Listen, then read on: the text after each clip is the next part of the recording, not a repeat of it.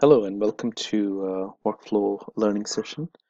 So in this, uh, so we we so this particular labs we have been building a vacation proposal, uh, our vacation approval uh, workflow.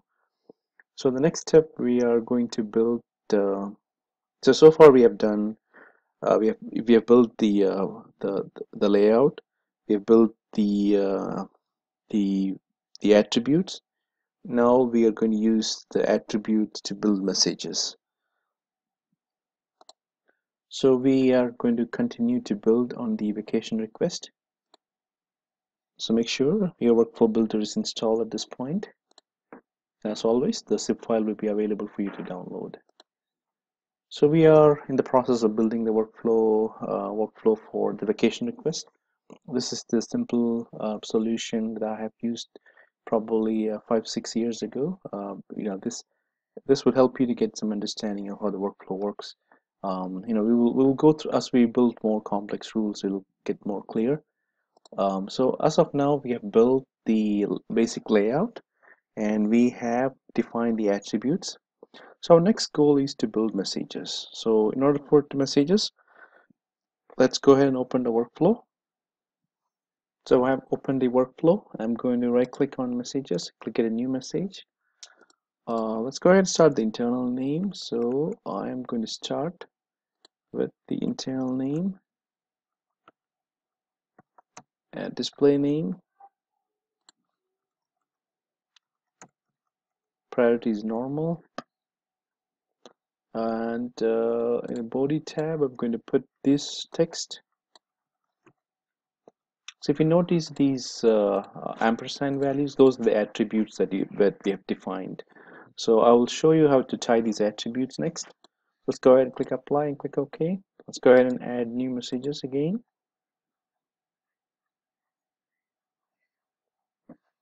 So one more thing, the result tab. So make sure you go back to the other one. Edit properties in the result tab. Uh, display name should be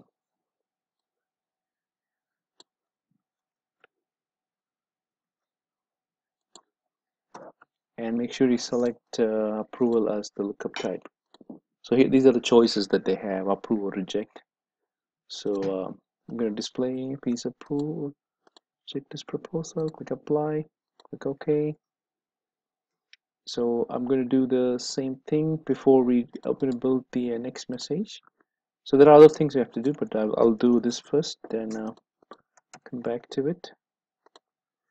Application rejected messages in the body text. Add this.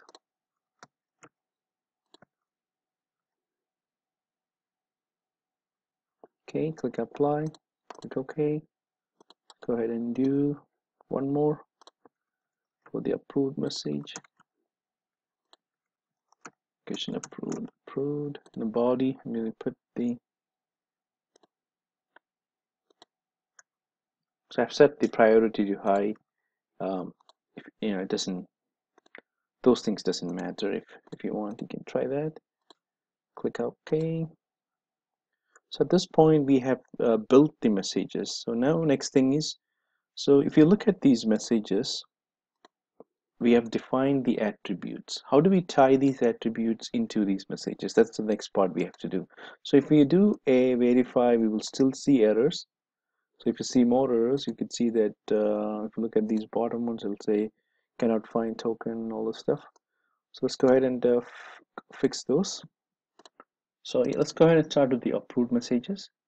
So we are using requester approver from date to date and comment so we want to drag requester approver from date to date.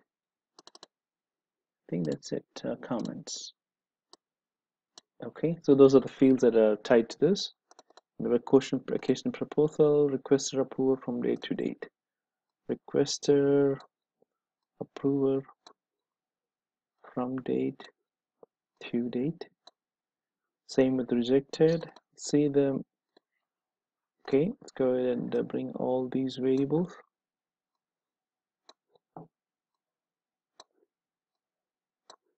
And comments. So in the vacation proposal messages let's go ahead and bring the comments the URL the form. Let's go ahead and change this to the source as respond click apply. So at this point we have created the messages. We have the notification we have the messages we have the attributes and we have tied the attributes to the messages. But we haven't tied the notification to the messages.